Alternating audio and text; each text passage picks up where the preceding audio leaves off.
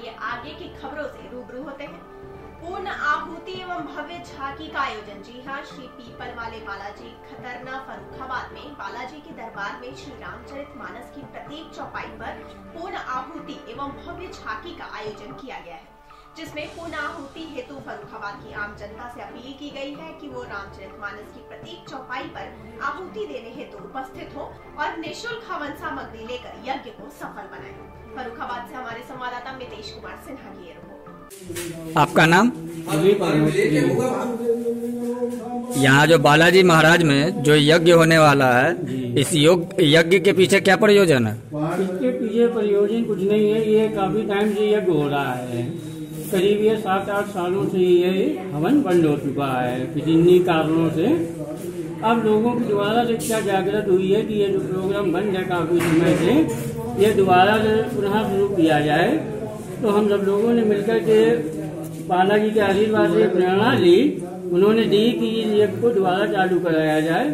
तो जैसे भी लोगों से कहा, हर आदमी उसके लिए तैयार हो गया कि ये धार्मिक कार्य है होना चाहिए। और दो मिनट तो मैं समझ लीजिए, अभी दस दिन पहले ही सब प्रोग्राम बना और दस दिन में ये सब तैयारियाँ हो रही हैं।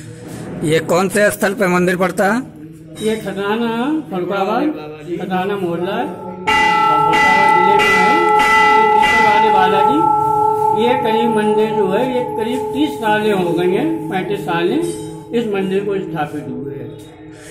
यज्ञ कितने बजे से लगभग आरंभ होने की संभावना? है? ये यज्ञ कल सुबह दस बजे से इसका पूजन चालू हो जाएगा।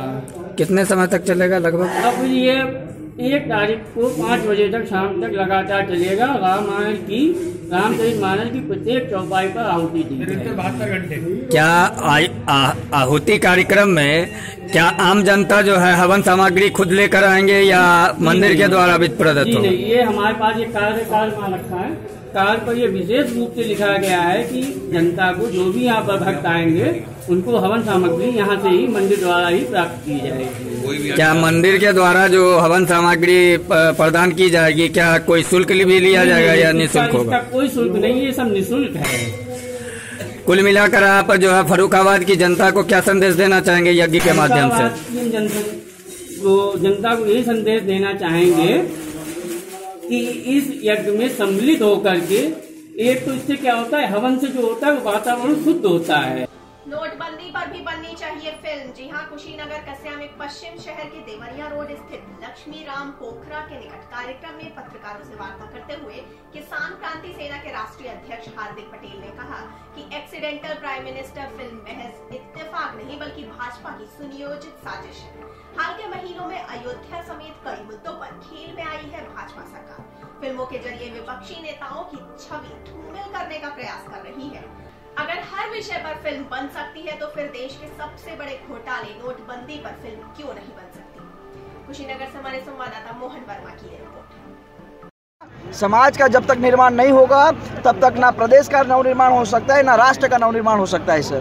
जब तक समाज को मज़बूत नहीं बनाएँगे तब तब हम इस देश को कैसे मज़बूत बना पाएँगे? तो समाजों को मज़बूत बनाना पड़ेगा चाहे वो कुर्मी हो चाहे यादव हो चाहे ब्राह्मण हो चाहे ठाकुर हो कोई भी समाज क्यों ना हो? जब तक एकजुट नहीं होगी राष्ट्र का निर्माण नहीं हो सकता। भाई शुरुआत आपने गुजरात में भी किया था।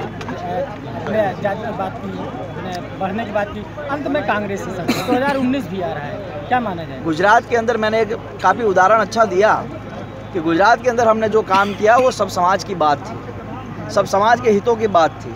अगर बॉस दो करोड़ रोज़गार दे देंगे और हर के खाते में पंद्रह लाख रुपए दे देंगे जाति का मामला ही नहीं बचेगा। सब लोग सुखी और संपन्न हो जाएँगे।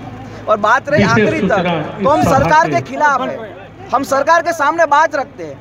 आज देश के अंदर प्रधानमंत्री नरेंद्र मोदी है तो उन्हीं से सवाल किया जा सकता है कि जवाहरलाल नेहरू को थोड़ी ढूंढेंगे हम। हार्दिक भाई सत्तर सालों से देश के पिछड़ेपन का राज क्या है? अगर इस तरह की बातें आ रही है सामने। जब देखो पिछड़ापन क्यों है?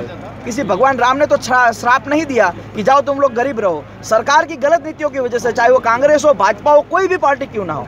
अगर सरकार गलत नीतियाँ बनाएगी तो लोग पिछड़े भी रहेंगे और गरीब भी रहेंगे। अगर अच्छी नीतियाँ बनेगी तो ये देश समृद्ध हो सकता है। मोदी जी को आप झूठा हर बार बोलते हैं कि ऐसा क्या? सर आपके खाते में पंद्रह लाख आए।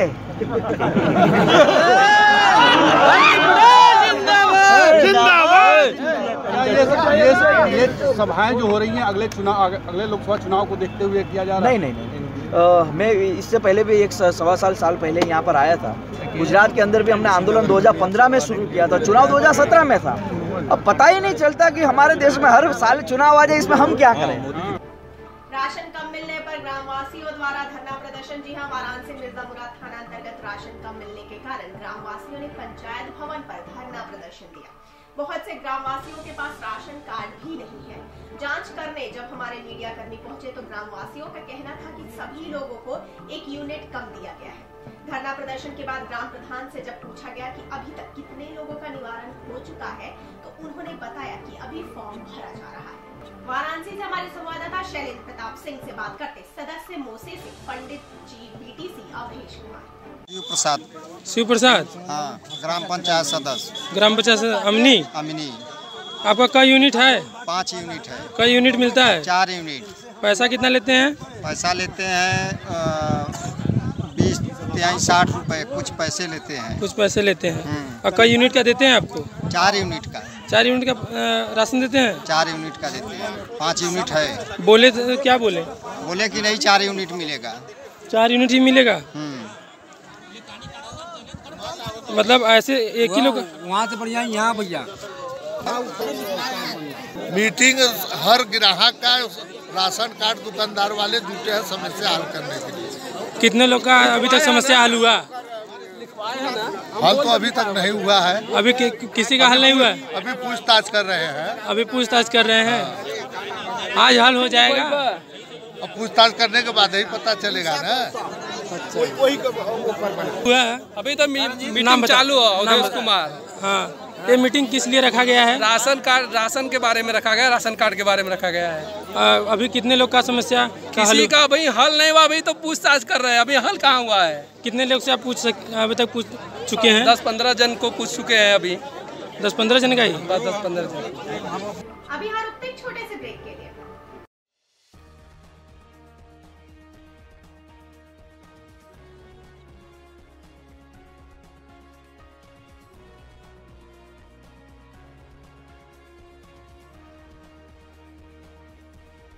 ब्रेक के बाद दर्शकों का एक बार फिर स्वागत है। लोगों के स्वास्थ्य की भी नहीं है परवाह। जी हाँ आजमगढ़ के लालगंज में बिना लाइसेंस के चल रहा है मेडिकल। वे आम जनता की ज़िंदगी से कर रहे हैं खिलवाड़।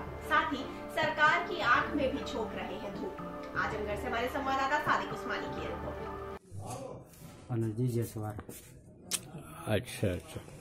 कि आपका यहाँ पे डी फार्मा का है डिग्री?